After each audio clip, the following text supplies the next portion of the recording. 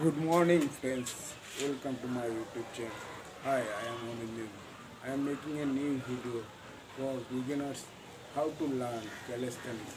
Three steps. Just follow. Keep watching my video. Thank you, my friends. First step.